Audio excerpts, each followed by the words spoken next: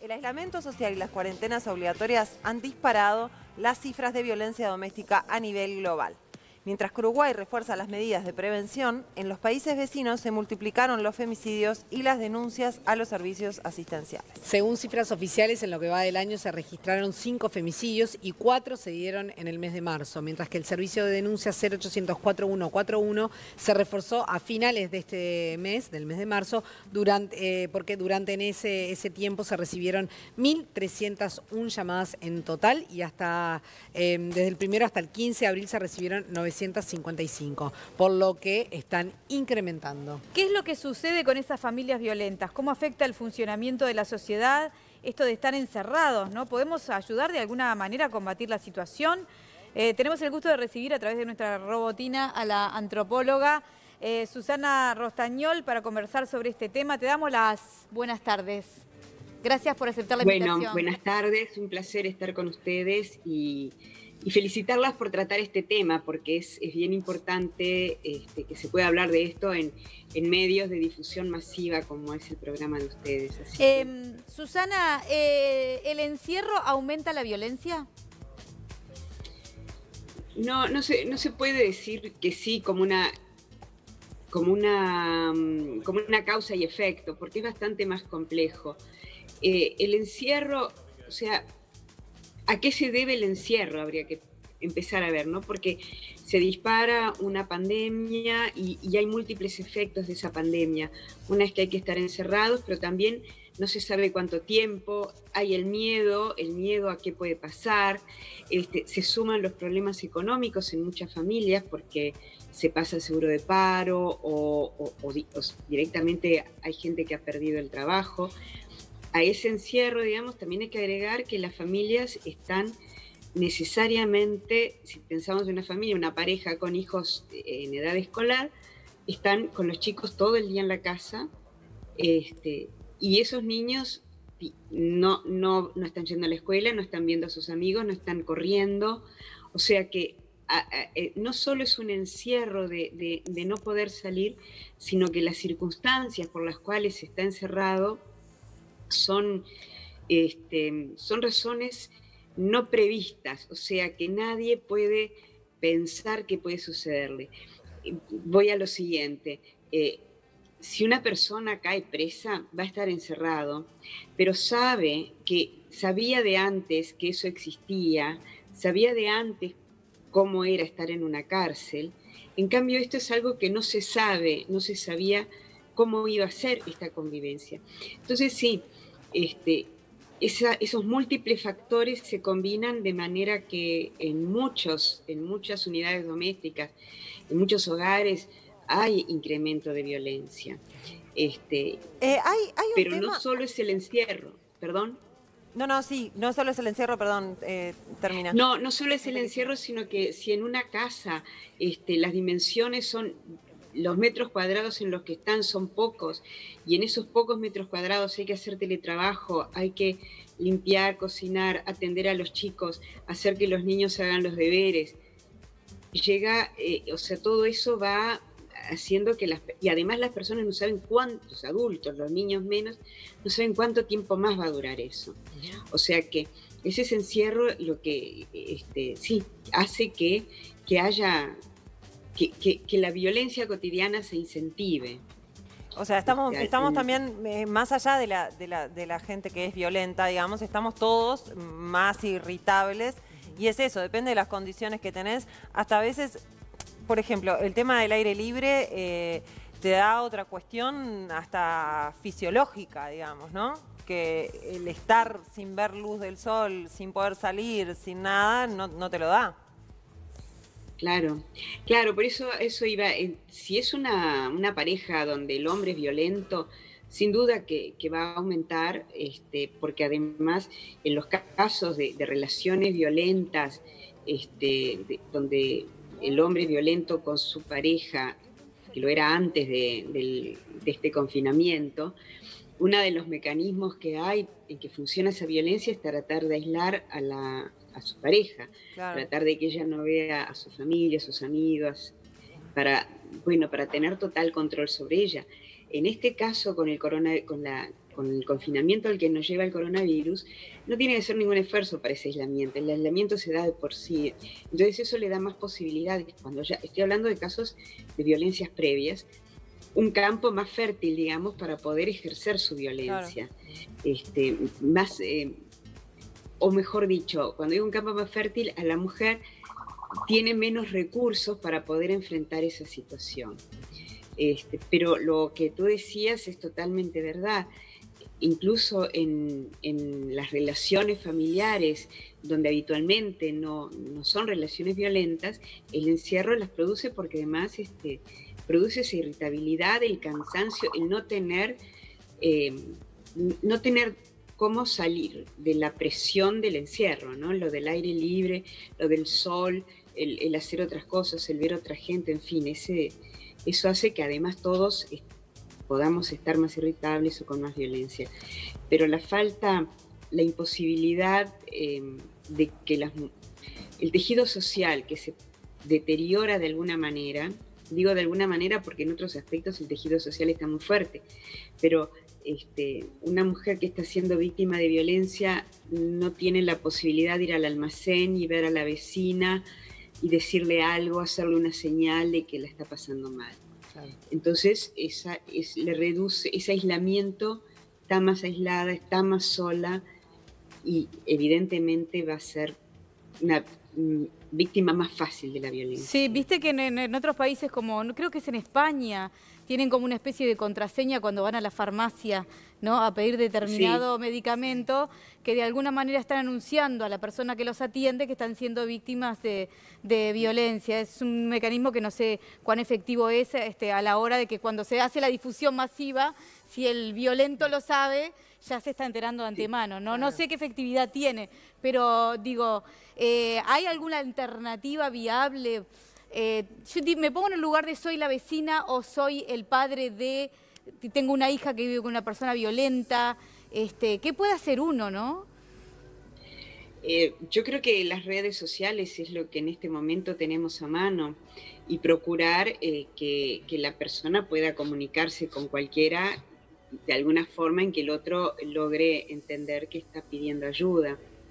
Este, porque y para eso yo te digo que las, hay muchas organizaciones, no muchas, pero hay unas cuantas organizaciones feministas que están muy preocupadas y que están tratando de hacer campañas mediante las redes sociales, tratando de, crear estas redes de ayuda, digamos, para la, gente, para las mujeres que están en situación de violencia. Y obviamente que desde el Estado es necesario eh,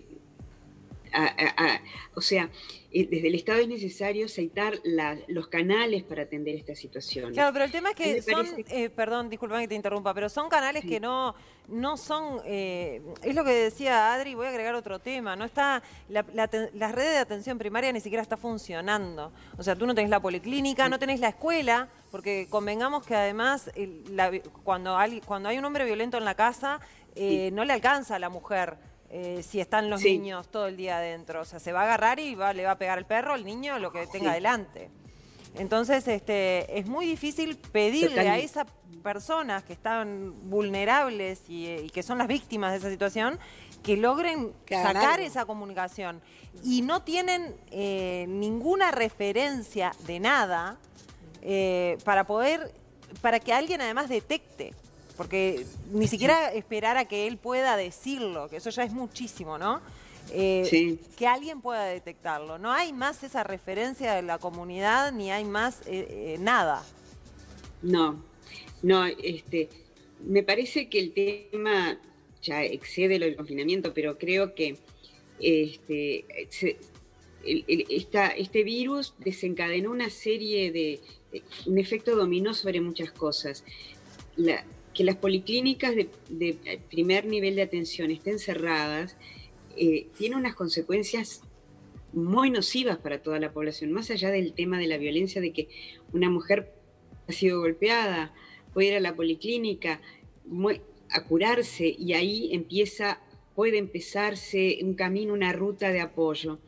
Pero más allá de eso, una serie de controles sanitarios y demás que al estar cerrados esos primeros niveles de atención está cerrado, y, em, a ver, lo que quiero decir es que eh, eh, me parece a mí que nos hemos eh, focalizado tanto en un virus y el resto de las consecuencias sociales, sociales, culturales, políticas, económicas, económicas se están mirando un poco, pero todas las demás es como que se les no se las está atendiendo, no sé si se puede atender a todo, digo, lo que voy es que están apareciendo un montón, una gran cantidad de efectos colaterales. De, efectos que son, que son más que un efecto colateral, que, están formando parte del problema total, ¿no? este, porque se podría definir que, bueno, que se va, eh, o sea, eh, cortar, eh, cerrar las policlínicas o el primer nivel de atención y hacer solo tele, telemedicina, para algunos casos puede servir, pero para otros no. no hay de pronto suficientes profesionales para hacerlo. Claro, ahora... Estamos todos como que aprendiendo a vivir de una manera que no sabíamos. Ese es el sin duda. Em, ¿Cuál podría ser una medida efectiva? Porque em, está bien, están todas estas organizaciones sociales que están trabajando en esta red y todo, pero creo que llega al mismo lugar. ¿Cómo hacen para llegar a la víctima? Entonces, es como que volvemos dentro de un círculo vicioso, ¿no? ¿Puedo acotar algo? Por ejemplo, yo vuelvo al, soy familiar de una de un de alguien de una mujer que presumo está siendo violentada. Esa mujer por ahí hace días que no se comunica porque también un violento lo que hace es cortarle la comunicación justamente para que no avise. Yo como familiar, ¿puedo ir a una comisaría y decir, eh, no estoy teniendo este contacto con tal persona, presumo que puede haber un acto de violencia, ¿puedo ayudar desde afuera? ¿Puedo mandar como un SOS? Digo, porque algo tenemos que poder hacer desde afuera. cualquiera en el caso de violencia doméstica, la denuncia puede venir de cualquiera. Este, tú estás y oís que, tu vecino está pegándole a, su pareja y podés llamar a la policía. Digo, es, eh, eh, es, una denuncia que puede ser hecha por terceros. Pero tiene que ser, a ver, aclárame esto, porque yo te planteo el caso de que soy, soy la madre de, una, de una mujer que no la puedo ver y que estoy lejos, aunque no sienta que le están pegando, que la están... Este, yo puedo, yo puedo como madre, por ejemplo, hacer, decir, necesito que vayan a saber si está bien. No sé exactamente la ley, pero creo que sí, que podés hacer, que podés mover de que, se, que, vayan a ver, que vaya un efectivo de, la policía a ver o, o los canales judiciales, que también ahora con el tema de la pandemia están medios paralizados pero mm, los canales, la policía debería poder ir a, golpear esa puerta y asegurarse que todo esté bien, o ir a buscar a la mujer con alguna excusa y sacarla de esa casa. Claro, porque hay, sí, sí. No, porque hay muchas mujeres que hacen que hacen denuncia y en algún momento también se retractan de la denuncia y los familiares saben que en realidad la situación no cambió, ¿no?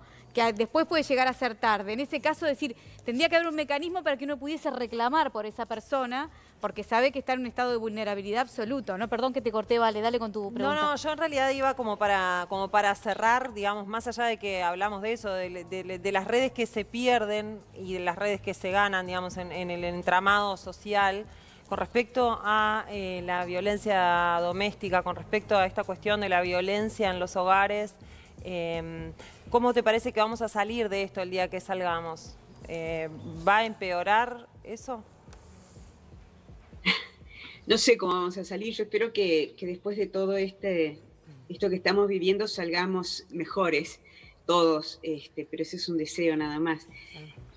Me parece que algo que, que sí se puede ver, o esta, esta experiencia nos puede servir para ver, es cómo episodios de violencia aguda comienzan con, con apenas algunas este, mínimas y sutiles acciones de violencia. Este, porque ustedes mismas hablaban de cómo en las familias donde, que, habitualmente no son violentas, esta situación puede hacer aparecer la violencia. Yo creo que una cosa este, que se puede hacer, y también pensando en que se puede hacer tal vez desde los medios, es tratando de alertar en, cómo evitar que la, que la violencia aumente, que, la violencia dentro de una familia aumente, cómo ir frenándola, cómo ir alertando a, los hombres y a las mujeres. Digo, porque un, hombre quizás es violento y no es 100% consciente de que está siendo violento, digo, como que eh, también hacerle entender que, que, esas acciones que está llevando a cabo hieren o lastiman o le hacen daño este, psíquico, emocional o físico a, su esposa, a sus hijos, etc. Pero también ir viendo cómo la violencia va creciendo y, y, tratar de irla deteniendo en esos primeros momentos, porque ninguna relación violenta empieza por el feminicidio. Claro, Susana, eh, perdón. Lo último, entonces. Claro, es, eh, digamos, la última eh, consecuencia. Nos llega una pregunta, y ahora sí para cerrar, eh, de, un, de alguien que nos está mirando en este momento y dice, ¿cómo se hace cuando tu pareja es manipuladora? Y también quizás está bueno porque muchas veces hablamos de la violencia física, pero acá es otro tipo de violencia y que a veces es muy complicado salir de ese círculo vicioso, ¿no? Bueno, si te das cuenta que tu pareja te está manipulando, ya es... Es un avance enorme. Ya, es un paso para tratar de cortar que te manipule, porque ya sos consciente de que estás siendo manipulada. Este, la manipulación es una forma bastante habitual de violencia, ¿no? Digo, de este, hacer sentir a la persona que no sirve, etcétera, que es, es forma de manipularla y de hacer con ella lo que, lo que uno quiere es, es, no dejarse manipular, digo, lo que estoy diciendo es muy, muy obvio. Este, sin duda que, las maneras de terminar con la manipulación de una persona hacia otra son muy complejas y múltiples y están muy arraigadas en las relaciones sociales, en, la manipulación. Entonces, este, no es fácil cambiar eso. Eh, pero me parece que la verbalización y la explicitación, el saber que hay una relación donde alguien manipula al otro ya es una manera de ir cortando esas acciones que manipulan. Claro. Muy bien, Susana Rostañola, antropóloga, muchísimas gracias por este contacto. Ha sido un gusto charlar contigo. Bueno, muchas gracias a ustedes. Buenas tardes. Buenas tardes, Felicitaciones por el programa. Bueno, gracias, gracias, muy amable.